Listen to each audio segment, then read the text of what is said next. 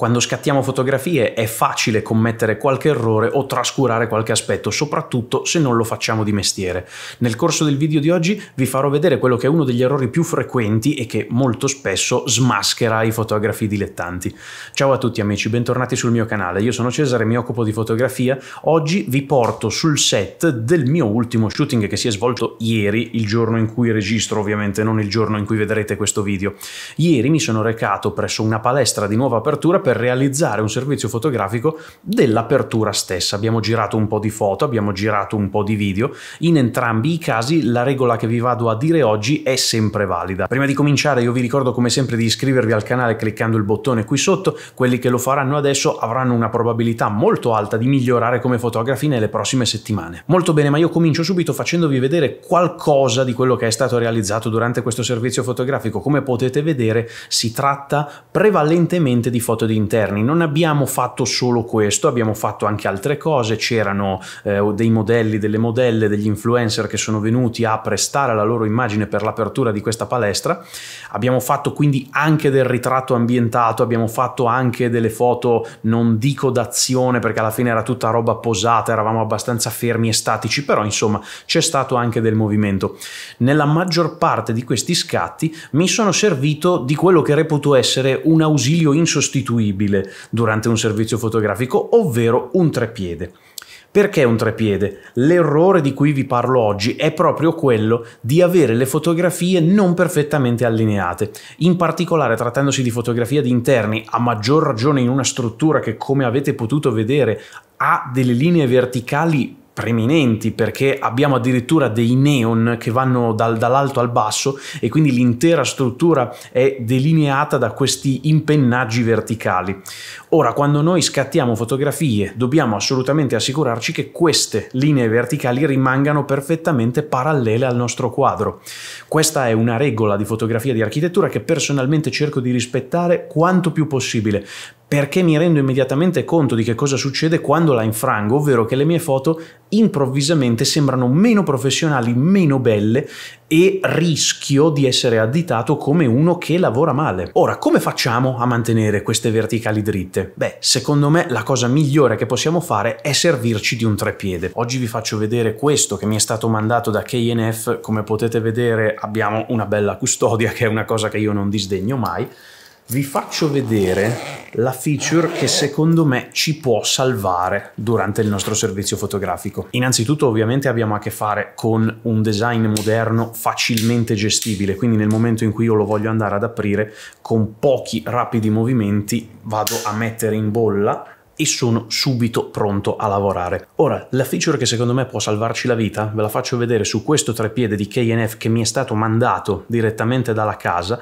quindi questa è una recensione onesta perché quando io scelgo di collaborare con un brand cerco di farmi mandare un prodotto di cui ho guardato le caratteristiche e che già mi piace, quindi non ho nessun problema a parlarvi bene di questo prodotto perché l'ho scelto, mi piaceva già prima che mi arrivasse. Ora, in questo caso la cosa che sicuramente ci salva la vita è la testa sfera, quindi noi abbiamo la possibilità, smollando questo perno, di andare a girare la nostra testa sfera e questo ci consente di allinearci con la massima precisione alle linee verticali della nostra architettura. Notare che qui in cima abbiamo anche la bolla, una bolla che rispetto ad altri tre piedi che ho visto, adesso c'è questa mania di mettere la bolla sotto la piastra di aggancio, quindi una volta posizionata la macchina la bolla non si vede più e questa è una grossa cavolata secondo me, perché nel corso dello shooting io mi muovo in giro e continuo a cambiarlo questo aggiustamento perché le architetture non sono tutte dritte, i pavimenti non sono tutti regolari e quindi io continuamente devo aggiustare un pochino queste linee verticali.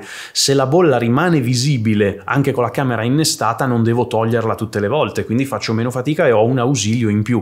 Da questo punto di vista questo secondo me è sicuramente un plus. Poi c'è da dire che il vero punto di forza di questo trepiede in realtà è un altro, ovvero quello di avere un secondo snodo, quindi una seconda testa sfera qui e come potete vedere questo ci consente eh, di andare a posizionare il nostro braccio in orizzontale. In questo modo possiamo fare degli scatti zenitali o possiamo sporgerci oltre degli ostacoli per fare delle fotografie che in altre circostanze avremmo fatto molta fatica a fare. Io vi lascio linkato in card da qualche parte un video in cui ho fatto un unboxing, l'ultimo unboxing che ho fatto su, sul mio canale, l'ho fatto utilizzando due camere e quindi ho utilizzato questo trepiede per stare zenitale sopra al pacco di cui stavo andando a fare l'unboxing, quindi può assolutamente essere utile nei contesti più disparati. Già che stiamo parlando di fotografie di interni, vi menziono anche un altro problema in cui sovente si incappa quando si realizzano fotografie di interni ed è quello del micromosso e questo può succedere per due motivi a mio parere. Nel momento in cui scattiamo a mano libera, abbiamo delle difficoltà, facciamo più fatica a tenere tutte le linee dritte perché scattiamo liberi e quindi scattiamo e poi ci riposizioniamo, invece quando siamo su tre piedi abbiamo tempo di mettere tutto al suo posto. E questo è un motivo banalmente, quindi scattare su tre piedi ci darà delle fotografie più nitide perché riusciamo a chiudere il diaframma allungando i tempi di posa, quindi facciamo una foto migliore se lavoriamo col trepiede rispetto di quanto non saremmo in grado di fare a mano libera. Inoltre le fotografie che vi mostro oggi hanno subito una lavorazione molto invasiva perché io ho fatto 5 scatti in bracketing che poi ho unito per creare una fotografia HDR. Le fotografie che presentano delle aree di esposizione molto diverse, come può essere un esterno anche molto illuminato, ve l'assicuro. Qui avevamo un esterno dove batteva il sole e un interno, seppur illuminato però scuro, questa zona di contrasto le nostre fotocamere non riescono a gestirla e quindi per avere una gamma dinamica più completa si tende a usare il bracketing e fare fotografia HDR. Questo è possibile solamente se utilizziamo un trepiede. Ora, un problema con cui mi sono trovato spesso ad avere a che fare è il micromosso anche su trepiede e questo perché? Per un paio di motivi almeno. Il primo motivo è se stiamo utilizzando un trepiedino di quelli leggeri, magari di plastica, ecco che anche semplicemente andare a premere l'otturatore della nostra fotocamera o anche semplicemente il movimento dello specchio, se stiamo utilizzando una fotocamera reflex, può in certi casi andare a introdurre un movimento e quindi il nostro scatto viene mosso perché c'è stato un micro movimento. Con un trepiede pesante come questo, questa cosa non si verifica più. Siamo in presenza di un trepiede il cui punto di forza non è certamente la leggerezza e la portabilità. Stiamo parlando di una struttura in alluminio che si estende fino a 238 cm, quindi questo è il trepiede più alto in mio possesso in questo momento, eh? è decisamente il più alto. Tutti i miei trepiedi arrivano a 1,70, 1,80, questo arriva a oltre i 2 metri, quindi è sicuramente il più grande e di conseguenza è anche il più pesante anche se devo dire che non è difficile da trasportare perché il più pesante ok, però comunque non pesa tanto, io l'ho portato in mano tranquillamente, sì sembrava un po' uno Sherpa lo ammetto, però come potete vedere si porta in giro senza problemi, non era certamente quello la cosa più pesante che avevo addosso. Tuttavia la solidità della struttura mi permette senza nessunissimo problema di posarlo e poi fare le mie operazioni addirittura premendo il bottone di scatto sulla fotocamera, non ho neanche bisogno di utilizzare il comando remoto, che ho utilizzato lo stesso, ma avrei potuto non farlo perché qui abbiamo una stabilità superiore rispetto ad altri tre piedi che ho già recensito sul canale. Ovviamente tre piedi che avevano velleità di tutt'altro tipo perché erano magari dei tre piedi leggeri da viaggio, in questo caso no, questo è un trepiede da lavoro abbastanza serio, infatti credo che entrerà stabilmente nel mio zaino perché la sensazione di solidità che restituisce e la praticità d'uso sono assolutamente premianti. Quando si fa fotografia quantomeno, perché questo è un trepiede a mio parere puramente fotografico in quanto non ha manipoli per gestire la videocamera come già detto io l'ho utilizzato anche per fare video perché comunque funziona benissimo. Ma parliamo un attimo di queste verticali dritte perché voglio cercare di farvi capire perché dobbiamo rispettare questa regola. Pensiamo alla regola dei terzi o alla regola della simmetria. Io so che molti fotografi, soprattutto neofiti, principianti, la vedono come un limite. No? Molti pensano ma perché devo tenere l'orizzonte dritto? Ma perché devo tenere le verticali dritte? Ma perché devo collocare il mio soggetto al terzo della foto? Io preferisco fare di te testa mia. Ok, vedetela così. Il rispetto di queste regole non significa non avere una vostra creatività, non significa non fare quello che vi piace, soprattutto non significa creare delle immagini eh, incasellate, significa semplicemente seguire una buona norma che nel corso dei secoli, perché deriva dalla storia dell'arte, nel corso dei secoli queste norme si sono rivelate premianti, nel senso che le persone, gli osservatori naturalmente preferivano, naturalmente intendo per natura, cattura preferivano le immagini dipinti, in questo caso eh, gli affreschi, gli arazzi, quello che vogliamo. In epoca antica gli osservatori naturalmente preferivano le opere che rispettavano queste regole, oppure che le infrangevano per un motivo ben preciso che portasse a un risultato di un certo tipo.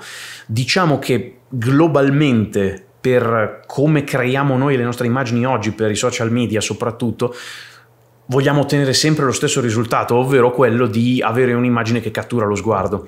Queste regole aiutano ad avere un'immagine che cattura lo sguardo e aiutano ad avere delle immagini coerenti. Quindi se io facessi tutte le foto con le linee tutte storte, mi ritroverei poi nel feed di Instagram con delle foto che sono tutte scompaginate, che sembrano non caschino bene insieme all'interno di quello stesso feed o del sito web o di qualunque altro utilizzo, anche cartaceo. Nel momento invece in cui abbiamo tutte le nostre linee belle dritte, possiamo mettere le nostre fotografie disposte una di fianco all'altra e saranno coerenti, vabbè l'esposizione è sempre la stessa, la luce è sempre la stessa, saranno coerenti anche per la forma, perché avranno tutte questo filo conduttore delle linee verticali dritte che sicuramente è più gradevole per l'occhio. Secondo me realizzare un servizio fotografico come questo senza un buon trepiede diventa se non impossibile sicuramente molto ostico. Ecco perché quando realizzo un servizio fotografico di interni devo per forza avere un trepiede con me e prossimamente prossimamente vi farò vedere altri lavori realizzati con questo strumento che mi è appena arrivato, quindi lo sto ancora provando in tutte le sue sfaccettature perché ha diversi setup possibili. Oggi ve ne ho fatto vedere uno, fatemi sapere in un commento se vi interessa perché potremmo, po potrei io per primo scoprire degli utilizzi particolari di questo braccio AL che personalmente è la prima volta che possiedo e quindi l'ho utilizzato per le cose più banali come uno scatto zenitale, ma non ho ancora esplorato pienamente tutte le sue potenzialità potenzialità. Signori, lasciatemi sapere come sempre quello che pensate in un commento, io vi ricordo di iscrivervi al canale per rimanere sempre aggiornati sul magico mondo di fotografia, videomaking e design, è stato come sempre un piacere passare un po' del mio tempo con voi e io vi do appuntamento al prossimo video.